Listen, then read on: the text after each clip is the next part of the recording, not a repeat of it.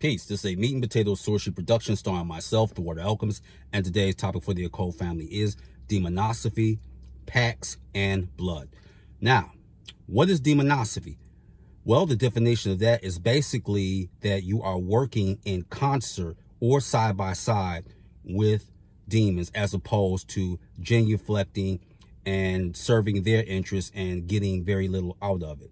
Basically, you're worshiping, and that's done in right hand path thinking as well as Abrahamic religion. So demonosophy takes a different approach, one that I highly salute and agree with. Now let's talk about pacts.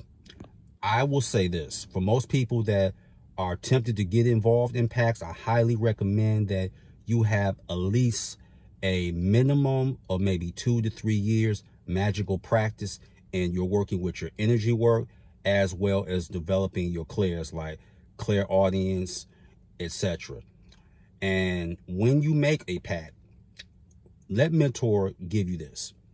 If you want to do a pact and make sure it's successful, don't ask for something out of the realm of possibility. We have seen how this can go left in the case of what Danyal Hussein did to those sisters in the United Kingdom a few years ago where he asked for a girlfriend and to hit the mega millions.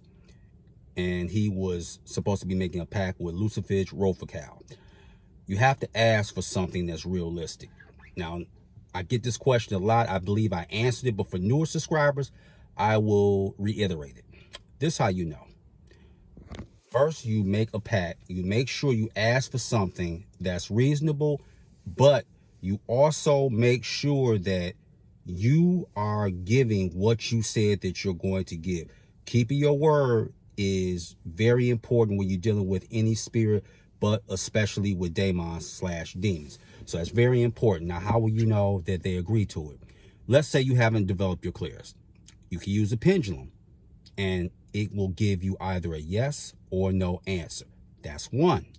Another one is you can ask or volunteer partial possession and you can go into automatic writing. And that's when a spirit jumps into your body and you will be able to write a particular script or language that you're unfamiliar with. We've seen this in the case with Aleister Crowley's first wife, Rose, who did automatic writing. So that's another one. But the thing that I used, you can close your eyes, visualize the contract that you wrote out, the sigil of the spirit and then you ask the spirit if they agree to the terms, would they write their script or name on the contract?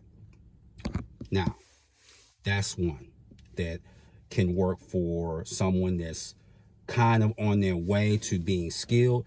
But the one that the Kobe Bryant of Magic uses that never fails is this you can, a demon can let you know that they agree to the terms. Like Prince Orobas did this for me. He agreed to it, but he one-upped it.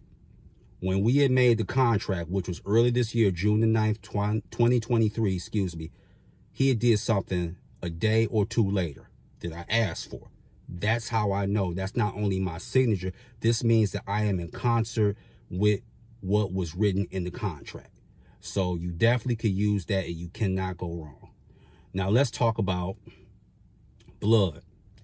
Let me say this. You don't give your blood haphazardly to a whole lot of spirits. You don't do that. Is there some influence? Yes. But people have this approach where you just got to like stab yourself or slit your wrist. You don't have to do all that. That's what I tell people. Stop watching all this Hollywood stuff. It's going to corrupt your brain. You can just prick your finger if you want to. You don't have to do it. And here's, I want to make this clear. Here's how you know that something's not for you. If your higher self or holy guardian angel doesn't want to do it, you don't have to do it. You don't have to get involved in making a blood offering if you're not comfortable with it. Just because other occultists are doing it, what does that have to do with you? So you don't have to do that.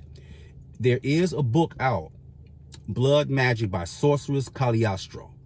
That's on Amazon. She has volumes one and two. Two is a little bit more hard to procure, but volume one is easy. It's accessible, so you get that. So you don't have to give blood to any spirit that you don't have to.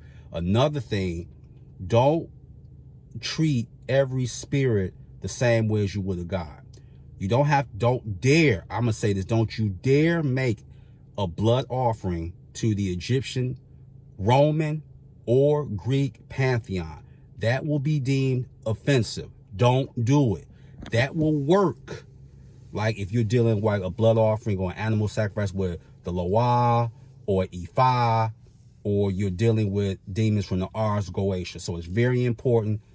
Just don't don't treat everything like okay, you know, everything is like Target or Walmart across the board, no matter where what city you go to. No, don't no, no, please don't do that. Don't do that at all. So I just wanted to make them those points about that. And that's how you can go into it. And your pack should be safe and effective. You don't have to offer blood if you don't have to and we know about demonosophy.